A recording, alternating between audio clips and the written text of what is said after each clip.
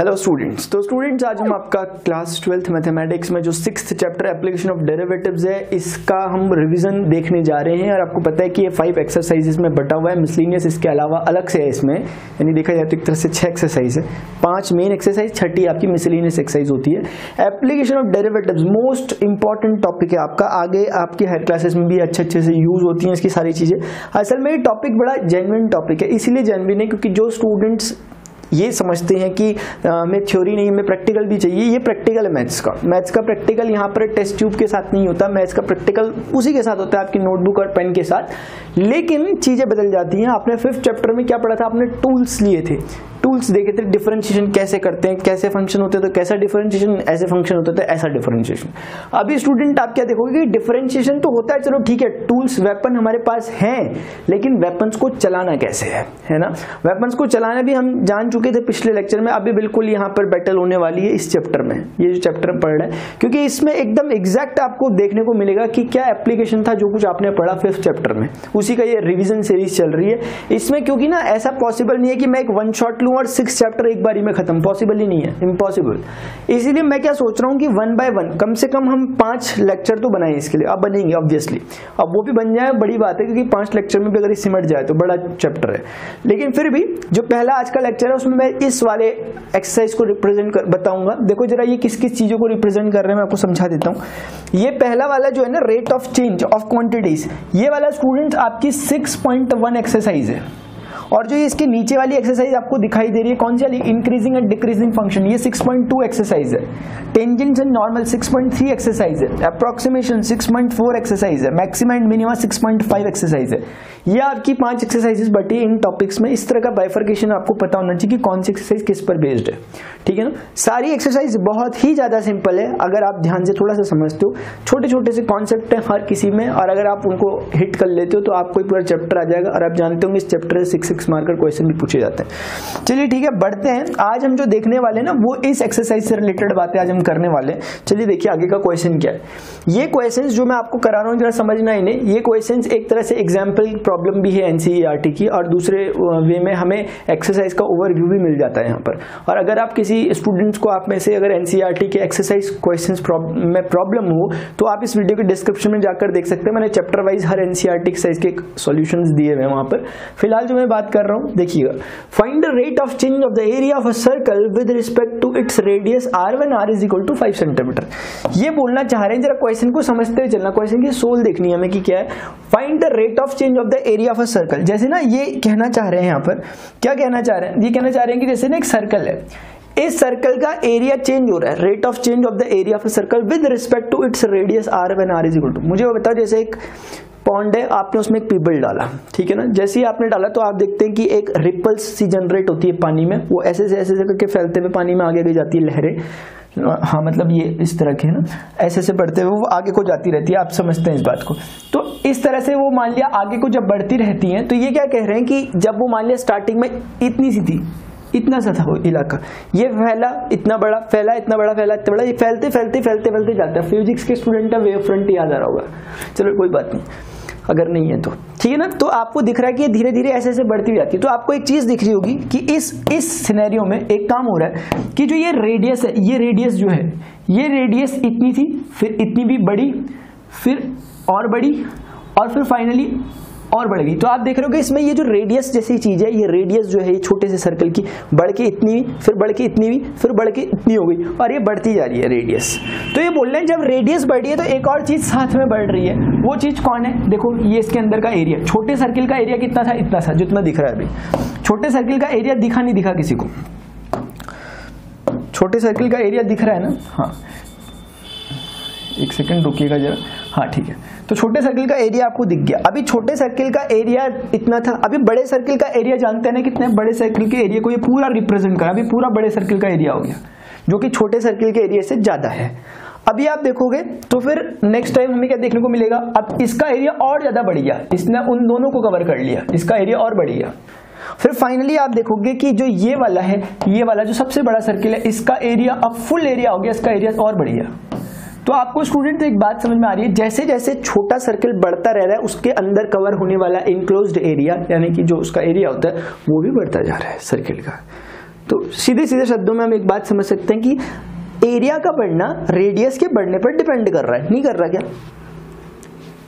Area का बढ़ना area उसी का ज़्यादा हो रहा है जिसके रेडियस ज़्यादा है। एरिया का बढ़ना रेडियस के बढ़ने पर डिपेंड कर रहा है। और ऐसी डिपेंडेंसी यानी कि यहीं पर यही पूछ रहे हैं, ये बोल रहे हैं कि find the rate of change of the area ये d by d of t जब मैं लिखता हूँ ना, ध्यान से समझना इसकी मीनिंग क्या है। इसका मीनिंग है, ये बोलता है चेंज इन चेंज इन जो भी यहाँ पे होगा विद रिस्पेक्ट टू टाइम अगर मैंने नीचे टी लिखा हुआ तो इसका मतलब टाइम के रिस्पेक्ट में चेंज अगर मैं यहाँ पर मान लिया कुछ लिख देता हूँ ए लिख देता हूँ तो मैं, मेरा ए रिप्रेजेंट कर रहा है एरिया को तो मैं कहना चाह रहा हूँ change in area with respect to time अगर मैं यहाँ पर पी लिख देता हूँ पेरीमीटर जैसा कुछ तो मैं बोलना चाह रहा हूँ change in perimeter with respect to time मैं यहाँ पर x लिखता हूँ, x रिप्रेजेंट कर रहा अगर पोजीशन को तो मैं कह सकता हूँ change in position with respect to time यानी यहाँ पे अभी इस प्रेजेंट केस में यहाँ पर एरिया को मैं रिलेट कर रहा हूँ। सीधी सी बात है, ये बताते हैं कि एरिया में कितना चेंज हो रहा है with respect to time time के बढ़ने के साथ या टाइम के टाइम घटे, घटने के साथ तो नहीं टाइम के चेंज होने के साथ एरिया में कैसा बदलाव हो रहा है, क्या चेंज हो रहा है। है ना? हाँ। अभी इसे यहीं से एक छोटी सी बात समझ लो। जो भी आंसर आएगा, अगर वो आंसर पॉजिटिव है तो वो बताने की कोशिश करेगा कि एरिया बढ़ रहा है। धीरे धीरे बातें डिस्कस होती रहेंगी। ये पूरा का पूरा चैप्टर देखना आप। आज के लेक्चर्स के साथ पूरे पाँच लेक्चर आपको क्लियरिटी आएगी इसमें, क्योंकि बहुत सी बातें जिनमें मैं लिमिटेशन में हूँ, अभी नहीं बोल सकता, आगे यूज़ होंगी तो d a by d t जो है, ये अगर पॉजिटिव है, इसका मतलब ये हुआ, ये बोलने की कोशिश कर रहा है कि एरिया इंक्रीजेस ये मैं जनरल नॉलेज के लिए बता रहा हूँ ये बातें, है ना? क्वेश्चन बहाना मैंने पहले ही बोल दिया क्वेश्चन तो छोटा सा है। ऐसी अगर ये चीज़ पॉजिटिव ना कि नेगेटिव आई तो ये कहना चाह रहा है कि एरिया डिक्रीजेस तभी कहना चाह रहा है कि एरिया डिक्रीजेस यानी एरिया घट रहा है। एरिया घट रहा है। यानी कि अगर टाइम के बढ़ने के साथ एरिया अगर change in area with respect to time अगर नेगेटिव आए, इसका मतलब एरिया घट रहा है। मैं समझाना चाहूँगा इस बात को। मैं इस बात को क्या करना चाहूँगा? समझाना चाहूँगा। ये जो मैंने साइड में बात ली। देखो स्टूडेंट्स एग्ज़ाम्पल के लिए ना, ये एक एक कुछ है, इसका एरिया मान लिया फोर सेंटीमीटर स्क्वायर कुछ ऐसा है। फोर सेंटीमीटर स्क्वायर कोई प्रॉब्लम तो नहीं है कुछ? नहीं है ना? एक सेकंड रुक जाओ फिर। नहीं है तो। देखो, इसका एरिया फोर सेंटीमीटर स्क्वायर है, जो जो ये चीज़ है। अभी एक सेकंड मैंने बनाया एरिया इसका area two centimetre square late से कमी होगा, बड़े वाले से कमी होगा तो फोर सेंटीमीटर स्क्वायर मैंने इसका एरिया सपोज़ किया। यानी इस छोटे वाले का एरिया टू सेंटीमीटर स्क्वायर है, और वो टोटल जो बड़ा वाला है, उसका एरिया फोर सेंटीमीटर स्क्वायर है। क्लियरली बात समझ आ रही है। मान लिया मान लिया, ये t is equal to two second की घटना है, और ये t is equal to one second की घटना है। या मुझे मोर प्रिसाइजली मुझे ऐसा कहना चाहिए। मुझे इसको ऐसे कहना चाहिए, रुकिएगा जरा देखो t is equal to zero second में ऐसा था? यानी जब हमने ऑब्जर्वेशन दिया तो हमने बड़ा सर्कल देखा। है ना? हमने अगले सेकंड में जैसे ही ऑब्ज़र्व किया, हमें दिखा कि अरे, ये चीज़ तो स्ट्रिंग होके इतनी बन गई। ये ये बड़ा वाला सर्कल स्ट्रिंग होके छोटा सर्कल बन गया। हमें ये दिखा। यानी जस्ट अगले सेकंड में हमें ये देखने को मिला कि भाई फोर सेंटीमीटर स्क्वायर का जो एरिया था, वो टू सेंटीमीटर स्क्वायर के एरिया में तब्दील हो गया। अब मुझे बताओ, कोई मेरे से पूछेगा कि d a by d t निकालो। कोई मेरे से क्या पूछ रहा है कि d a by d t निकालो? D a by d t निकालो। कोई मेरे से बोल रहा है, ये निकालो। D a by d t का मतलब है सिर्फ़ और सिर्फ़ एक ही मतलब है, वो है change in area change in area with respect to time और और क्लियरली समझते हैं इसे। Change in area with respect to time ये इसका मीनिंग है। D a by d t का। दूसरे शब्दों में d a by d t का मतलब ये भी है देखो जरा, ये मज़ेदार है। डी बाई डी टी का एक और मतलब है, वो है a two minus seven one over t two minus t one अभी धीरे धीरे जब हम आगे बढ़ते रहेंगे ना, आपको दोबारा से समझ में आएगी बात। सिक्स पॉइंट थ्री एक्सरसाइज में दोबारा डिस्कस करूँगा। समझ में आ रही नहीं आ रही बात? ये है। क्योंकि change in area change in time तो चेंज इन एरिया क्या? Final area minus initial area change in time क्या? Final time minus initial time यही तो बोलोगे और क्या बोलोगे? है ना? तो उस हिसाब से अगर देखा जाए तो हमारा ए वन था और ये जो निकला ये ए टू था हमारा। क्यों मैं इसे ए वन कह रहा हूँ? क्योंकि जब मैंने ऑब्जर्वेशन किया था ज़ीरो सेकंड पे तो मेरे पास तो फोर सेंटीमीटर स्क्वायर थी चीज़। अगले सेकंड में मेरे पास ये हो गई, यानी इनिशियली मेरे पास फोर सेंटीमीटर स्क्वायर था ए वन मेरे पास फोर था ए टू मेरे पास टू हो गया बाद में, एक सेकंड बाद। इसीलिए आप समझ रहे होंगे कि इसे डी वन और इसे टी टू कहना चाहिए, मेरी बात किसी को समझ में आ रही नहीं आ रही। वन रिप्रेजेंट जनरली करता है, पहले जो हुआ टू रिप्रेजेंट करता है, जो बाद में हुआ, है ना? तो पहले टाइम ज़ीरो था, उस समय एरिया फोर सेंटीमीटर स्क्वायर था। अगले सेकंड में, यानी टी टू में वन सेंटीमीटर सेकंड बाद एरिया इतना हो गया बढ़ गया घट गया ठीक है ना? तो ये दिख रही अगर मैं इन वैल्यूज़ को यहाँ प्लेस करूँ ना स्टूडेंट्स अगर मैं इन वैल्यूज़ को यहाँ प्लेस करूँ कि भाई ए टू क्या टू ए वन क्या four two minus four t two क्या है? टी टू हो गया वन सेकेंड और टी वन था ज़ीरो सेकेंड मुझे एक बात बताओ आंसर कितना है? माइनस टू मुझे एक यूनिट लिख देनी चाहिए पीछे।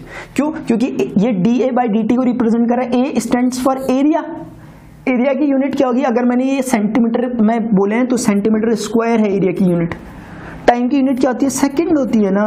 तो इसीलिए मुझे इसे लिख देना चाहिए सेंटीमीटर स्क्वायर पर सेकंड बड़ा सेंसिबल चीज़, बहुत ज़्यादा सेंसिबल चीज़। समझना, मेरा कुल कहने का मतलब क्या था? कुल मिलाकर। कुल मिलाकर मैं ये कहना चाहता था कि d a by d t यानी change in area with respect to time यानी कि एरिया में जो चेंज हो रहा है, वो टू सेंटीमीटर स्क्वायर पर सेकंड का है। यानी एक सेकंड में दो सेंटीमीटर स्क्वायर का चेंज होता है। मेरी बात ध्यान से देखो। ज़ीरो सेकंड में अगर एरिया आपने अभी देखा, अभी अभी देखा, आप आए, आपने देखा फोर सेंटीमीटर स्क्वायर एरिया है। जैसी घड़ी में एक सेकंड आगे हुआ एरिया टू सेंटीमीटर स्क्वायर हो गया। फोर सेंटीमीटर स्क्वायर पहले था, अगले सेकंड में टू सेंटीमीटर स्क्वायर हो गया। आप क्या समझे? आप ये समझे कि एक सेकंड में एरिया टू सेंटीमीटर स्क्वायर बदलता है। लेकिन ये निगेटिव साइन बोल रहा है, बदलना निगेटिव है। बदलना निगेटिव है, यानी कि टू सेंटीमीटर स्क्वायर बढ़ता नहीं है एरिया घटता है। क्योंकि चेंज तो दो तरह का हो सकता है ना। मान लिया मैं कह रहा हूँ कि एक चीज़ है, उसका एरिया हर एक सेकंड में दो सेंटीमीटर स्क्वायर बदलता है। इसके दो मतलब हैं, या तो बढ़ता है, या तो घटता है। ये पॉजिटिव और नेगेटिव साइन बताएगा कि वो घटता कि बढ़ता है। ये नेगेटिव साइन बता रहा है कि वो घटता है। और देख लो ना आप स्टार्टिंग में ज़्यादा था, फिर कम हो गया। कमी तो हुआ अगले सेकंड में। उसने बताया नेगेटिव ने बताया, कम हुआ। ये बात इंपॉर्टेंट थी। बड़ी बात नहीं है, कोई ऐसी बात नहीं है, लेकिन ये छोटी छोटी बातें बड़ी बात बन जाती है बाद में। इसीलिए स्टूडेंट्स इस ध्यान से समझ लो। कुछ समझे नहीं समझे अभी मेरी बात। ये ध्यान से समझना, ठीक है ना? तो निगेटिव साइन क्या रिप्रेजेंट करता है? आपको समझ में आ गया कि चेंज इन एरिया का टाइप कैसा है? पॉजिटिव वाला निगेटिव वाला इंक्रीजिंग वाला डिक्रीजिंग वाला, ये। ठीक है ना? हाँ अभी चलो अपने उसमें आते हैं। अभी जो हमसे बात हो रही थी, वो करते हैं, ठीक है ना? ध्यान से समझना। चलो, ठीक है। अभी कहाँ थे हम? अच्छा अभी तो हम ऐसी बात ही कर रहे थे खाली। चलो। अरे। देखो चलो, अब देखना स्टूडेंट्स क्या था? Find the area of change of the area of a circle with respect to its radius यानी कि एरिया में चेंज बताओ with respect to not time with respect to radius ये ध्यान से पढ़ने वाली बात है। एरिया में जो चेंज हो रहा है, एक तो एरिया आपको टाइम के साथ बदलता हुआ दिख रहा है कि हाँ लहर का भी ये छोटी रिपल थी, थोड़ी देर बड़ी हो गई टाइम के साथ दिख रहा है। दूसरा बोल रहे टाइम के साथ नहीं देखना, हमें रेडियस के रेफरेंस में बताना है कि उसके साथ क्या हो रहा है, जैसे एग्ज़ाम्पल के लिए। एक ट्रेन जा रही है बहुत तेज स्पीड से। है ना 200 किलोमीटर पर आवर की स्पीड से एक ट्रेन भाग रही है है ना? आप खड़े हो, आपको ट्रेन क्या बहुत तेज लग रही है ना, भागती भी हाँ लग रही है। उसके बगल में एक और ट्रेन भाग रही है सौ किलोमीटर पर आवर की स्पीड से। उसको भी क्या तेज लग रही है? लग रही है, लेकिन उतनी नहीं लग रही जितनी आपको लग रही है, क्योंकि वो भी खुद सौ किलोमीटर की स्पीड से भाग रहा है, उसी के डायरेक्शन में। इसीलिए फ्रेम ऑफ़ रेफरेंस के हिसाब से चीज़ें बदल जाती है। ठीक है ना? इसीलिए पूछ रहा है कि चेंज इन एरिया तो बताना है, लेकिन टाइम के रिस्पेक्ट में मत बताओ रेडियस के रिस्पेक्ट में बताओ। रेडियस भी बदल रहा है बेसिकली रेडियस भी बदल रहा है, देखो ना। रेडियस बदलेगा। हमने बोला, ठीक है, बता देंगे, उसमें क्या बड़ी बात है भाई? डी बाई डी आर हमने बोला, ये बताओ एरिया किस चीज़ का? इन्होंने बोला find the rate of change of the area of circle इन्होंने बोला सर्कल है। और सर्कल का एरिया क्या नहीं आता हमें? Pi r square if r stand for radius मैंने पहले ही आर को रेडियस के लिए स्टैंड कर दिया। ए एरिया को रिप्रेजेंट कर रहा है और जो मेरा आर है, वो रेडियस ऑफ़ द सर्किल को रिप्रेजेंट कर रहा है टाइम इंस्टेंट मेरी बात समझ में आ रही नहीं आ रही। अभी मुझे बताओ, ये बात निकल गई। आगे देखेंगे बाद में क्या बोल रहा है लेकिन पहले जितना मिला हुआ इसे तो थोड़ा सॉल्व कर ले। पाई बाहर आ सकता है, क्योंकि पाई जस्ट एक नंबर है और नंबर कांस्टेंट होता है। कांस्टेंट टर्म डिफरेंशिएशन के बाहर आते हैं। अंदर क्या बचा? अंदर बचा d by d r of r square मुझे बताओ, ये जो मैं चीज़ निकाल रहा हूँ d a by d r ये किसके इक्वल आ गई सामने? सामने इक्वल आ गई pi d by d r of r square very simple two r जिसके रिस्पेक्ट में हो रहा है, वही टर्म है, वो तो कोई प्रॉब्लम नहीं है एक्स की पावर एन वाला फॉर्मूला लगा n x n n x raise to the power n minus one बोलो प्रॉब्लम है। सिंपली ये चीज़ निकल के आ गई टू पाई आर ये भी काफ़ी जरा देखा समझा हुआ चीज़ लग रही है। सरकमफेरेंस कुछ ना कुछ सोचने लायक आपके लिए यहाँ पर कि ऐसा क्या आया, क्या हुआ, क्या सरकमफेरेंस से कुछ रिलेशन है इनका? Whatever d a by d r is equal to two pi r है। अच्छा तो हमने एक चीज़ निकाल के रख दी। हमने बोला जो d a by d r होता है, यानी कि एरिया में जो रेडियस के रिस्पेक्ट में जो चेंज होता है it is always equal to two pi r ये एक तरह का रूल टाइप का भी बन गया। टू पाई आर के इक्वल है। इन्होंने कहा, वो तो ठीक है कि टू पाई आर के इक्वल है, लेकिन हम चाहते हैं कि भाई हमें जब आर पाँच सेंटीमीटर था, उस समय बताओ। जैसे मान लिया, इस छोटे सर्किल में, मान लिया इस छोटे सर्किल में आर की वैल्यू वन सेंटीमीटर थी, और इस बड़े सर्किल में आते आते वो फाइव सेंटीमीटर हो गए। तो वो बोल रहे हैं कि इस फाइव सेंटीमीटर में, इसमें एरिया का कितना चेंज हो रहा है, वो बताओ। यानी कि हमें just in place of r क्या रखना चाहिए? फाइव सेंटीमीटर यानी कि मैं यहाँ पर रख दूँगा टू पाई इंटू फाइव यानी ये हो जाएगा टेन पाई। आंसर को कभी ऐसा मत छोड़ना, अकेला अकेला। यूनिट लगा देना। यूनिट कैसे रहेगा? ए एरिया है। एरिया की यूनिट क्या होती है? मीटर स्क्वायर लेकिन यहाँ बातें सेंटीमीटर में चल रही है ना तो सेंटीमीटर स्क्वायर बोलना, ठीक है ना? हाँ। और नीचे डी आर जस्ट एक रेडियस है डिस्टेंस है। क्योंकि डी आर है क्या basically change in r r two में से आर वन को घटाओगे। तीन सेंटीमीटर से दो सेंटीमीटर को घटाओगे। एक सेंटीमीटर तो आएगा ना तब भी तो इसीलिए centimetre centimetre square by centimetre अब देखो, कुछ स्टूडेंट्स में सेंटीमीटर और सेंटीमीटर को काट के सिर्फ़ टेन पाई सेंटीमीटर कह सकते हो, गलत नहीं हुआ फिर भी।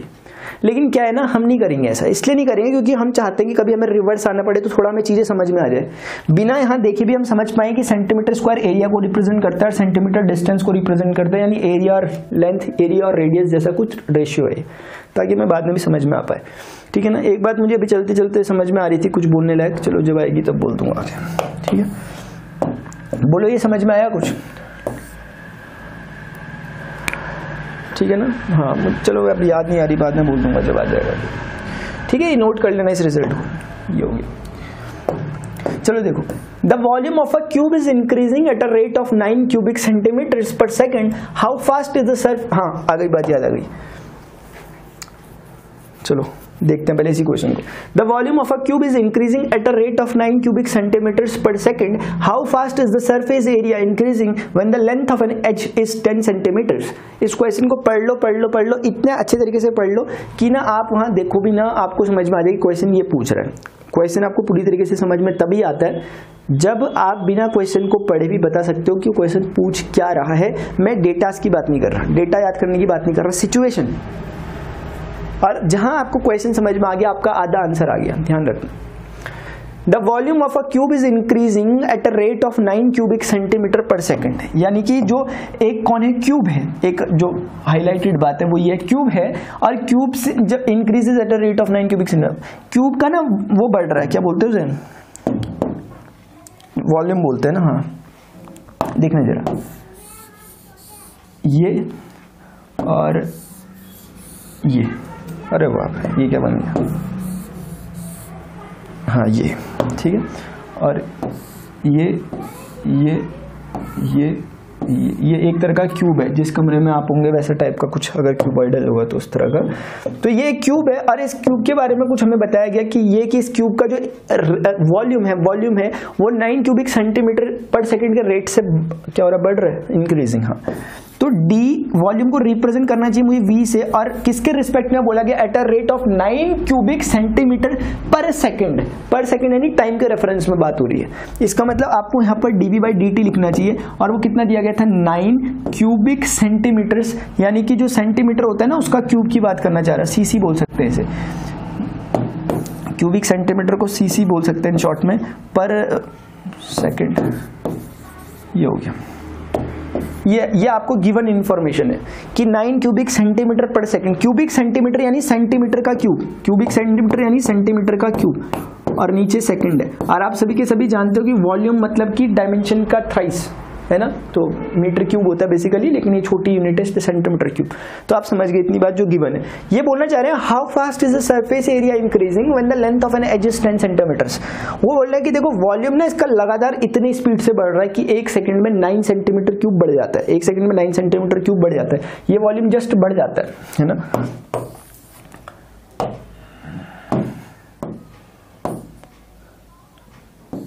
ये। अगर आपको समझ में आया हो थोड़ा सा कुछ तो इस तरह से इसका वॉल्यूम जो है बढ़ जाता है। बाकी तो नहीं समझ में आएगा अरे ऐसे में मुझे लग रहा है और दिक्कत होगी, है ना? इसीलिए रहने देते हैं इस चीज़ को। समझने में दिक्कत होगी इससे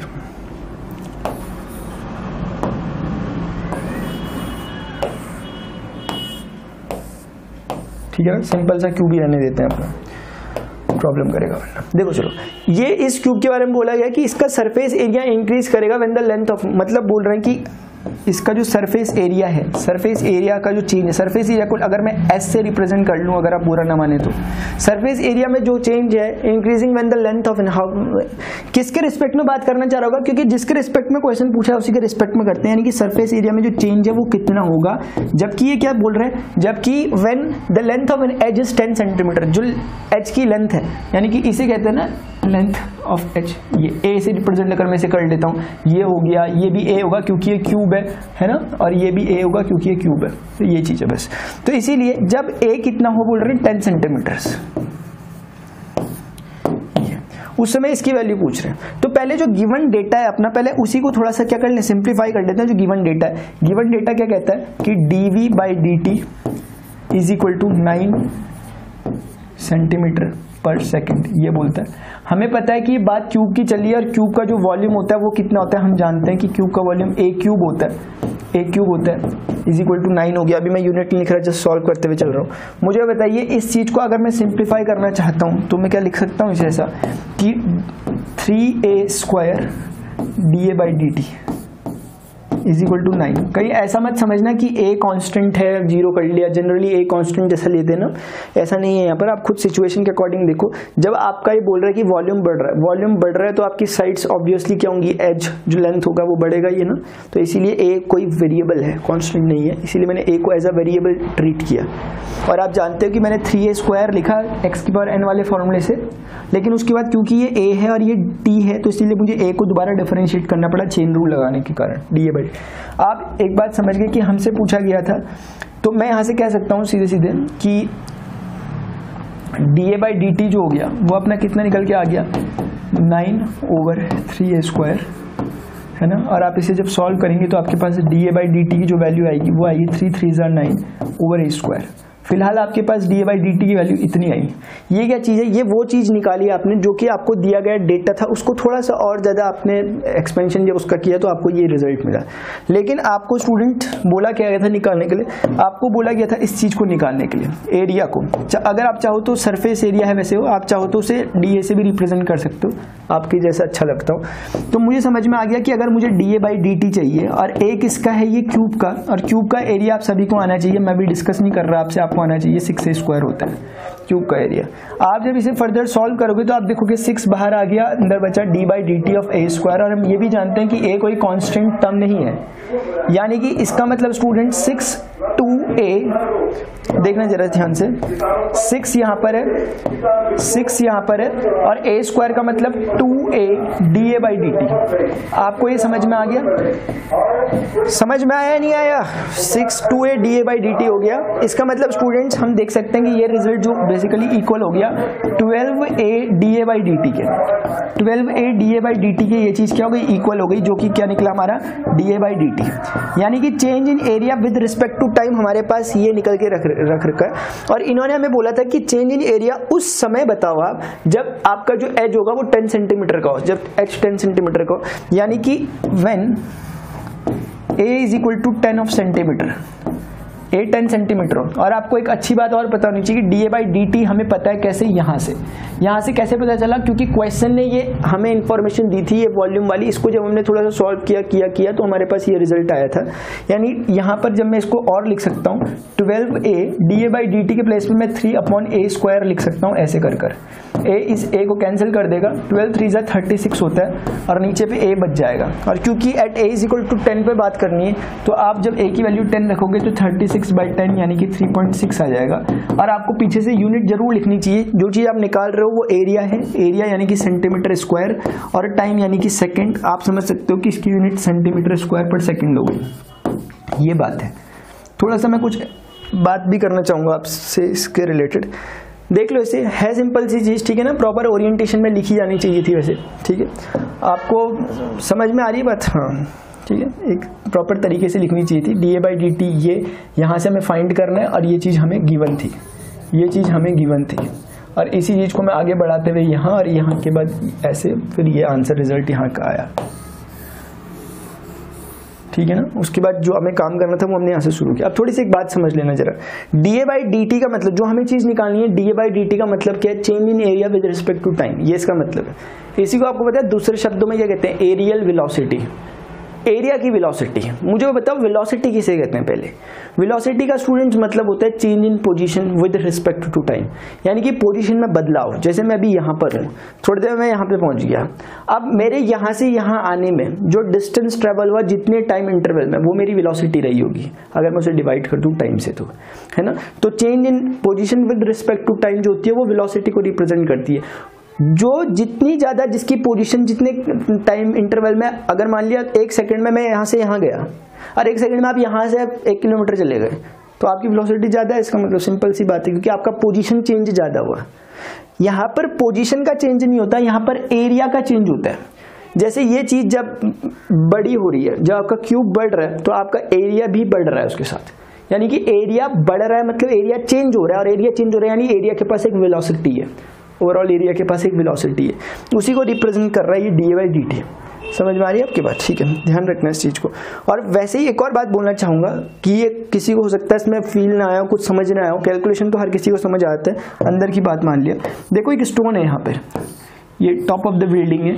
यहाँ से मैंने इस स्टोन को कब फ्री फॉल कराया नीचे गिर रहा है। मुझे बता ये स्टोन या बॉल जो भी है, ये जब यहाँ पर होगी स्टार्टिंग में स्टार्टिंग में जब ये स्टार्टिंग में होगी ना यहाँ पर, जब मैं इसे यहाँ से फेंक रहा हूँ इसकी वेलोसिटी ज़ीरो रही होगी। जब ये थोड़ी देर बाद यहाँ पर आई होगी ना, इसकी वेलोसिटी इंक्रीज कर रही होगी। इसकी वेलोसिटी इंक्रीज इंक्रीज इंक्रीज करते हुए फाइनली यहाँ पर सबसे ज़्यादा होने वाली तो आप एक बात क्या देख रहे हैं इसमें कि इसकी वेलोसिटी हर इंस्टेंट पर बदलेगी।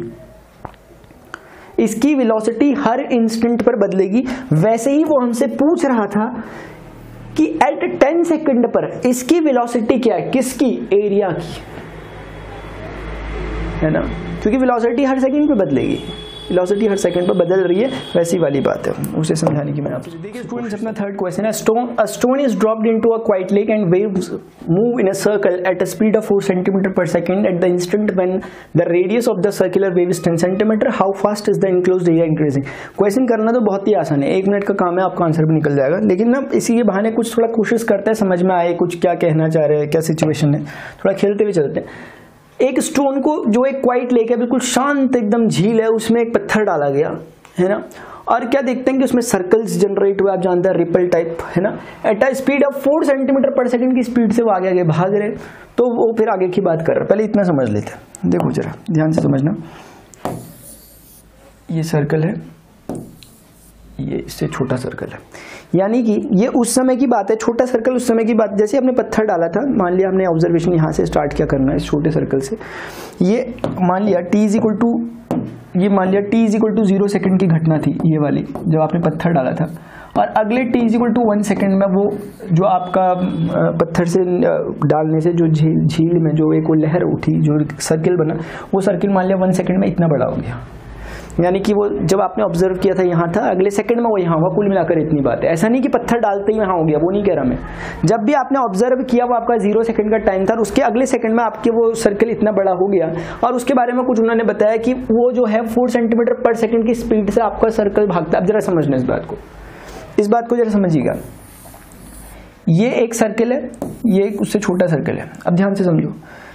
जैसे स्टूडेंट अगर ना यहाँ से यहाँ तक का डिस्टेंस आर वन है और यहाँ से यहाँ तक का डिस्टेंस आर टू है है ना? अब ये क्या कहना चाह रहा है कि जो सर्कल एट जो सर्कल है वो फोर सेंटीमीटर पर सेकंड की स्पीड से भाग रहा है। सर्कल भाग रहा है तो कैसे समझोगे इसे?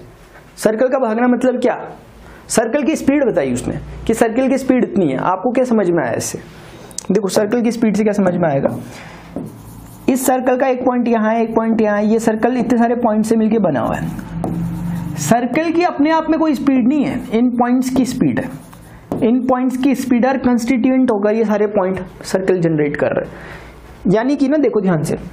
जब ये लहर जाती है फिजिक्स के स्टूडेंट अगर होंगे तो आप में से कोई। तो हाइगेंस ने भी ऐसा ही कुछ कहा है, ध्यान रखना। Huygens first and second hypothesis में।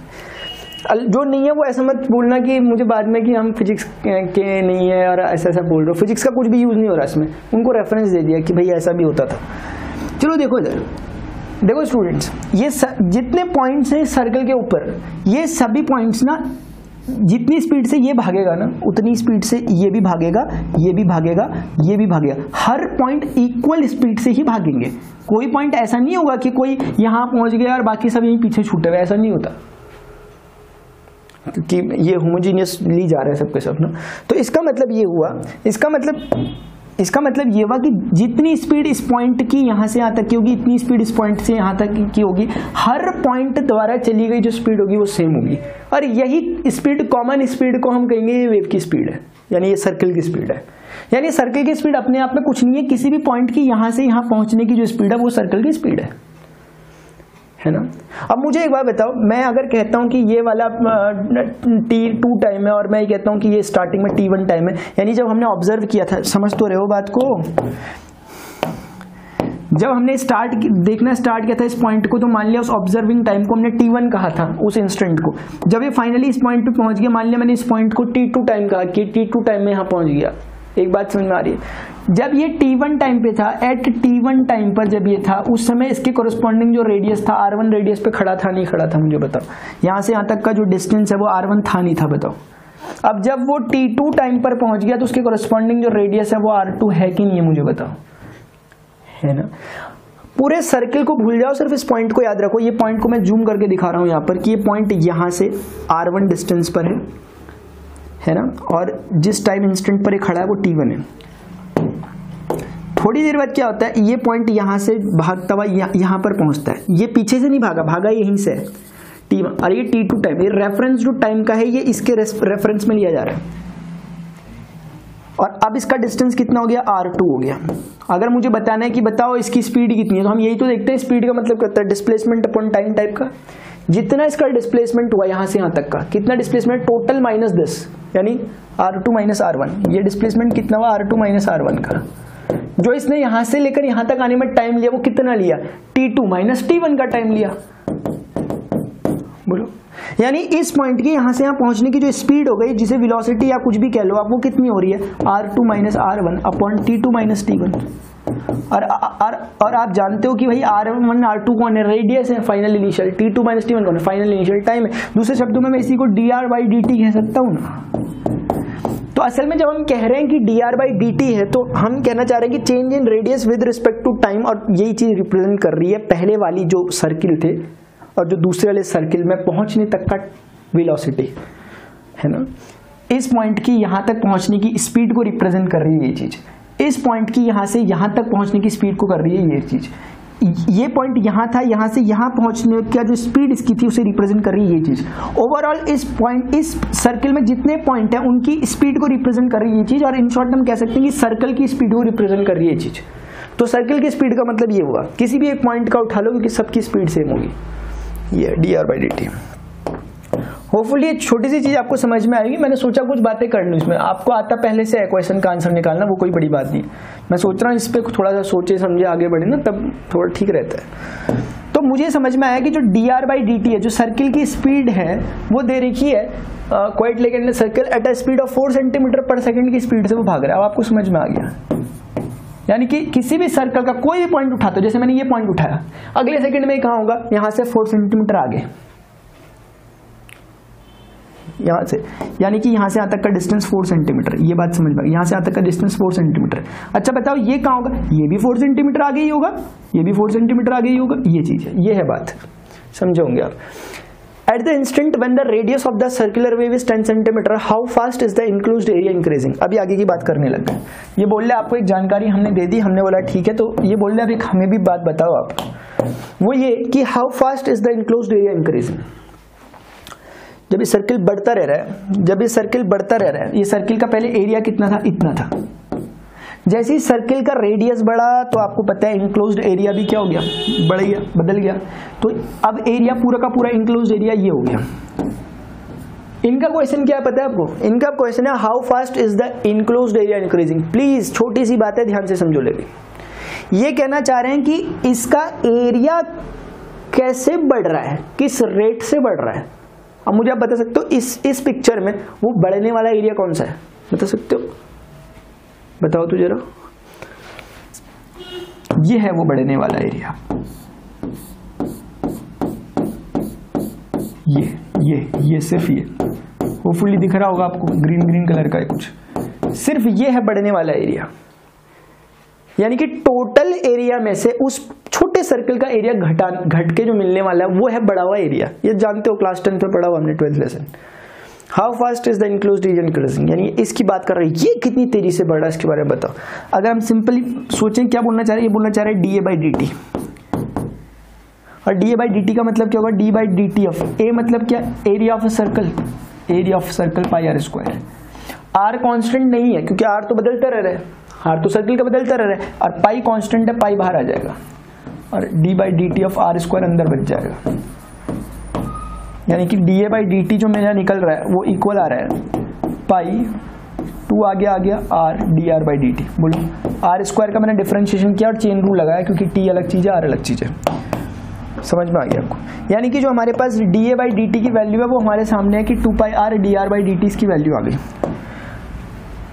क्वेश्चन के अकॉर्डिंग हमें एक इन्फॉर्मेशन मिली थी कि d r by d t यानी कि जो सर्कल है, उसकी स्पीड है वो हमें पता थी फोर सेंटीमीटर पर सेकेंड यानी अगर मैं यहाँ पर d r by d t की वैल्यू को प्लेस करता हूँ फोर सेंटीमीटर पर सेकेंड अगर मैं यहाँ पर प्लेस करता हूँ तो मैं ये देखूँगा कि मुझे d a by d t की जो वैल्यू है, वो कितनी मिल गई? फोर टू ज़ा eight pi r eight pi r मिल गई। कुछ यूनिट वगैरह होनी चाहिए इसकी लगाने के लिए? यूनिट होनी चाहिए क्या इसकी कुछ? हाँ होनी चाहिए ए क्या है? एरिया सेंटीमीटर स्क्वायर होगा वो। क्योंकि यहाँ सेंटीमीटर में बात चल रही है। और टी टेट सेंटीमीटर स्क्वायर पर सेकेंड यानी कि हमें पता चल गया कि जो ये सर्किल है सर्किल में जो हर अगले सेकंड में, जो या जो हर सेकंड में, हर अगले सेकंड में eight pi r centimetre square का एरिया बदलाव हो रहा है इसका। यानी कि ना, अगर मैंने सोचा था कि ये ज़ीरो सेकंड का सर्किल है और ये अगले वन सेकंड का सर्किल है बड़ा वाला तो इस ज़ीरो सेकंड के सर्किल से वन सेकंड के सर्किल में पहुँचने में जो एरिया में बदलाव हुआ, वो बदलाव हुआ एट पाई आर का। और वो इस पिक्चर में कहाँ पे है? वो इस पिक्चर में ये है, ये। ये दो सर्कल्स के बीच का जो इलाका है, वो। दो सर्कल्स के बीच का जो इलाका है, वो। तो students d a by d t हमारा एट पाई आर आ गया, यानी कहना चाह रहा है कि जो एक सेकंड में जो एरिया में बदलाव होता है सर्कल्स का, वो eight pi r centimetre square का है। और अगर हमसे क्वेश्चन ने बोला कि ये आर इज़ इक्वल टू हमें कहाँ पर बताओ? एट टेन सेंटीमीटर पे बताओ। आपको कुछ नहीं करना आर की वैल्यू टेन सेंटीमीटर यहाँ पर आप प्लेस करोगे तो डी ए बाई डी की वैल्यू निकल के आ रही है। टेन इंटू यानी कि eighty pi centimetre square per second है। बस सिंपल सी बात है। ये आपका क्वेश्चन हो गया। इंपॉर्टेंट बात यह है कि d a by d represent कैसे कर रहा है? वो बता रहा है कि हर अगले सेकंड में हर एक सेकंड में वो जो एरिया में चेंज है यानी कि जो मैंने ग्रीन कलर की लाइनिंग की। देखिए स्टूडेंट क्वेश्चन है the length x of a rectangle is decreasing at the rate of three centimetre per minute and the y is increasing at the rate of 2 centimetre per minute when x is equal to 10 centimetre and y is equal to 6 centimetre find the rates of change of the perimeter and the ये ये ये बोला गया।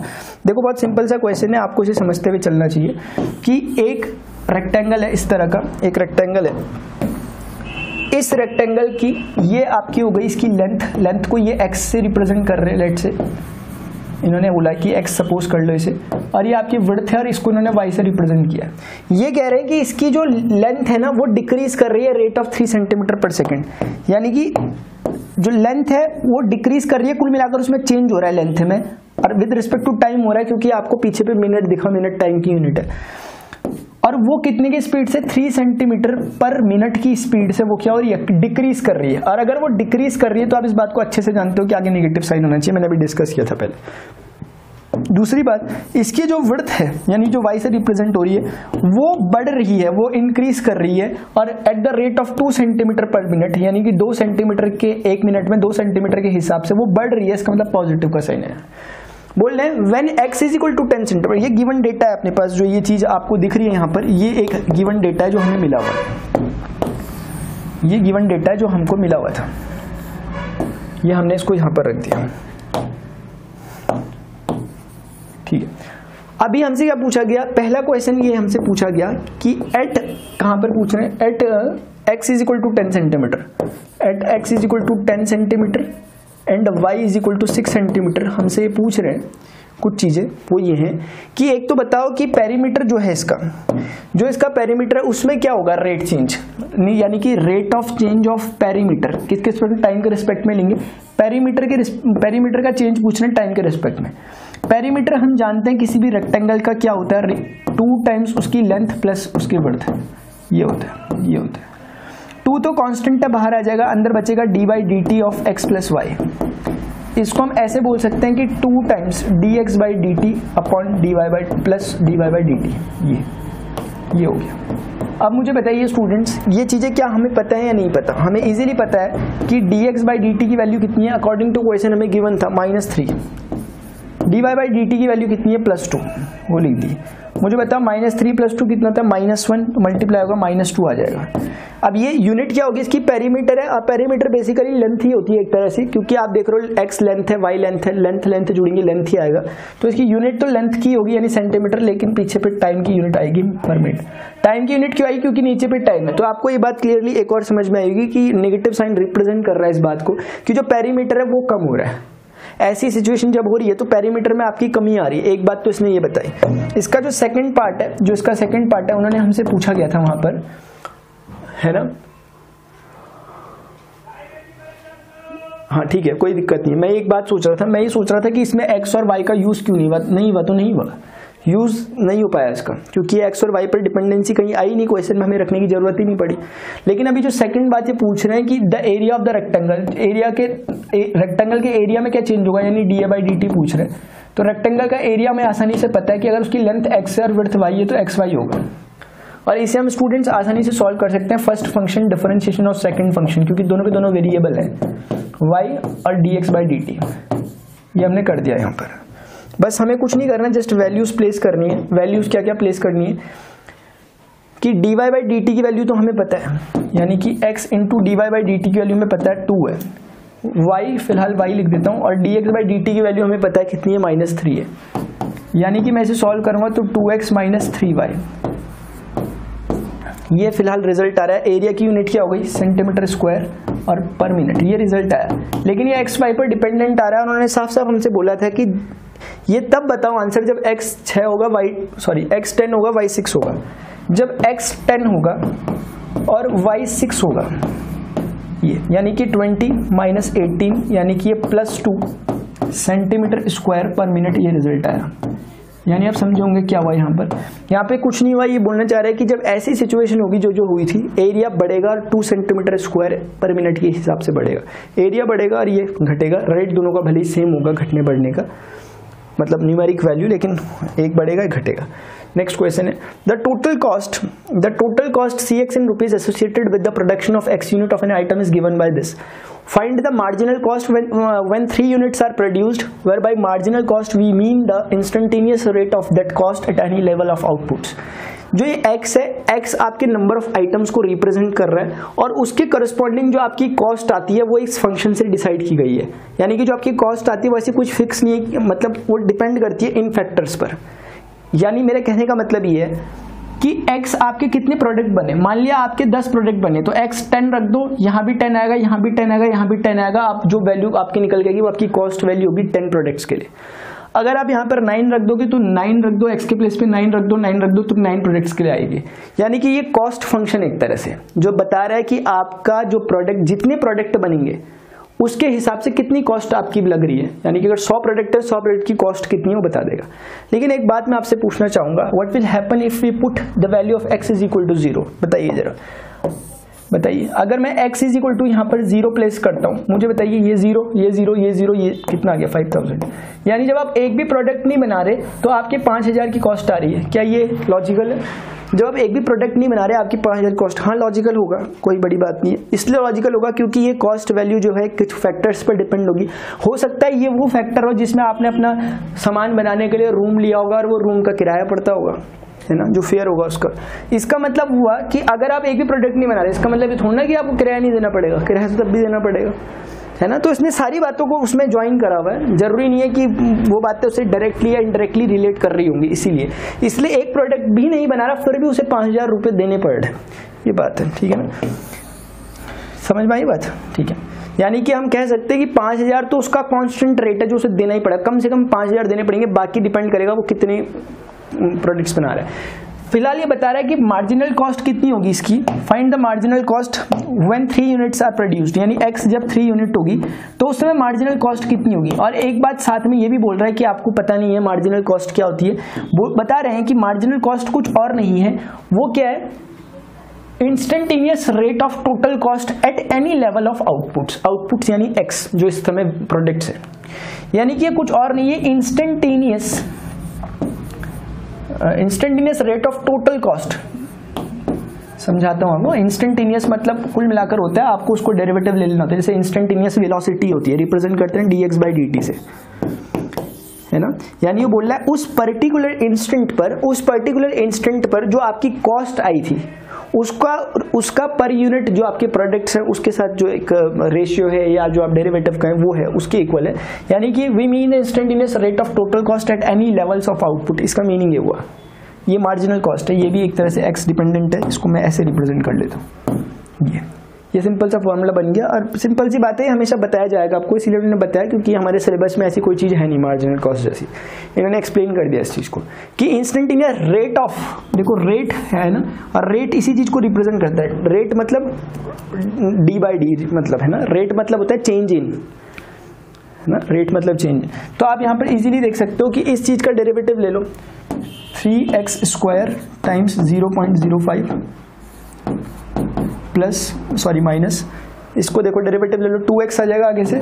बाकी जो कुछ बचा हुआ मैं लिख देता हूँ zero point zero two plus thirty x का थर्टी हो जाएगा। ये हो जाएगा। ये। ये आपके पास इसकी वैल्यू आ गई जो आपने इसका विद रिस्पेक्ट टू एक्स आपने इसको डेरिवेटिव लिया ना इस चीज़ का। विद रिस्पेक्ट टू एक्स ही लिया इस चीज़ का, इसलिए थ्री एक्स स्क्वायर हुआ। बाकी लिख दिया, फिर ये फोर एक्स हुआ। नहीं सॉरी टू आगे आया तो टू एक्स हुआ। और वो मैंने ऐसे लिख दिया 0.02 और बाकी का 30 हुआ। आपका एक छोटा सा काम है, यहाँ पर x की वैल्यू यहाँ पर x की वैल्यू थ्री डाल के देखो, जो भी आंसर आएगा वो आपका रिज़ल्ट होगा। ठीक है ना? The total revenue next question है सिंपल सा क्वेश्चन है। The total revenue in rupees received from the sale of x unit of a product given by this find the marginal revenue when x is equal to five where by marginal revenue we mean the rate of change of total revenue उसी तरह का concept है simple simple सा यहाँ पर जो बोल रहे हैं कि जो आपका मार्जिनल रेवेन्यू होगा जो आपने जन, आपने अपने लिए जनरेट करा मार्जिन जो आपका आया मार्जिनल रेवेन्यू जो होगा वो इक्वल है आपका। जो टोटल रेवेन्यू जनरेट हुआ था उसका रेट देखिए यहाँ देखना। We mean the rate of change of total revenue with respect to the number of items sold of an instant और ये जो एक्स रिप्रेजेंट कर रहा है आप ऊपर देख सकते हैं the total revenue received x unit of a product देखो एक्स जो रिप्रेजेंट कर रहा है, वो सेल्ड सोल्ड प्रोडक्ट को रिप्रेजेंट कर रहा है। जो आपका प्रोडक्ट बिक चुका है, उसको रिप्रेजेंट कर रहा है। यानी कि इसके रिस्पेक्ट में, जो सोल्ड प्रोडक्ट है, इसके रिस्पेक्ट में, जो आपका रेवेन्यू जनरेट था, उसका जो रेट चेंज है, वही मार्जिनल रेवेन्यू के इक्वल होता है। ये इन्होंने बताया। इन्होंने बताया, हमने एक्स्ट्रा नहीं किया।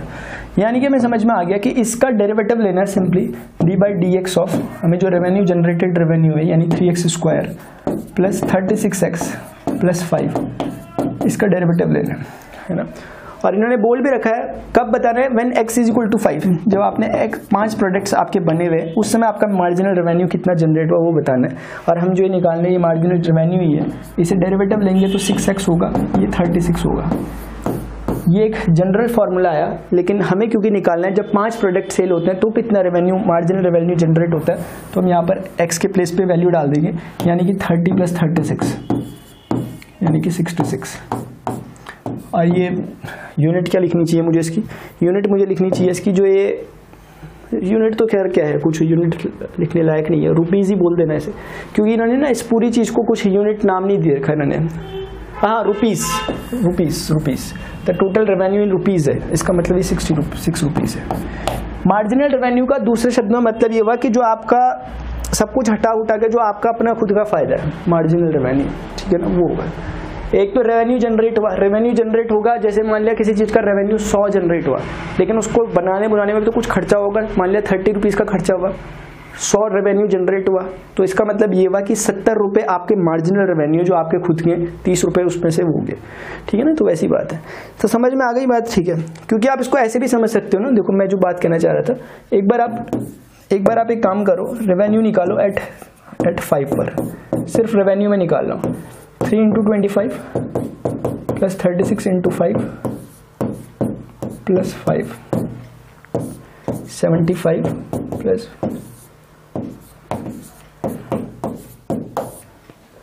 और ये इसे ऐड करना अस्सी, और ये हो गया I think two sixty two sixty rupees total revenue इतना जनरेट हुआ है पाँच प्रोडक्ट्स पे, लेकिन उसमें से जो मार्जिनल रेवेन्यू निकला, वो इतना निकला सिक्सटी सिक्स रुपीज़ ठीक है ना? और एक और बात समझ लो, अगर एक्स ज़ीरो हो गया तो मार्जिनल जो नॉर्मल रेवेन्यू है, वो आपका पाँच आ रहा है फिर भी। इसका क्या मतलब है? आप बताना मुझे कमेंट बॉक्स में. ठीक है ना? क्या पूछा मैंने? मैंने बोला कि अगर एक्स ज़ीरो हो गया, यानी कि एक भी प्रोडक्ट सेल नहीं हो रहा, लेकिन ये पाँच जो निकला हुआ ये किसे रिप्रेजेंट कर रहा है फिर। ये आपने बताना है, ठीक है? चलिए। चलिए ठीक है स्टूडेंट्स मुझे लगता है अभी हमने जितना करा, इसको आपने प्रैक्टिस करना चाहिए। अभी हम मिलेंगे अपनी एक्सरसाइज 6.2 में, जो इंक्रीजिंग और डिक्रीजिंग फ़ंक्शन पे बहुत ही ज़्यादा इंपॉर्टेंट एक्सरसाइज है, उसे आप ज़रूर करेंगे मेरे साथ। पहले हम कॉन्सेप्ट डिस्कस करेंगे, उसका फिर उसी के साथ उसके क्वेश्चन भी देखते हुए चलेंगे साथ साथ। Concept question concept question students अगर आपको वीडियो लेक्चर इन्फॉर्मेटिव लगा तो ज़रूर इस वीडियो लेक्चर को लाइक करें अदर नीड स्टूडेंट के साथ शेयर करें। More than eight video lectures के लिंक नीचे डिस्क्रिप्शन बॉक्स में रखे हुए जो भी क्वेरी हो, आप कमेंट करके मेरे से पूछ सकते हैं। अभी के लिए स्टूडेंट्स इतना ही, मिलते हैं अपने नेक्स्ट लेक्चर में। Goodbye see you take care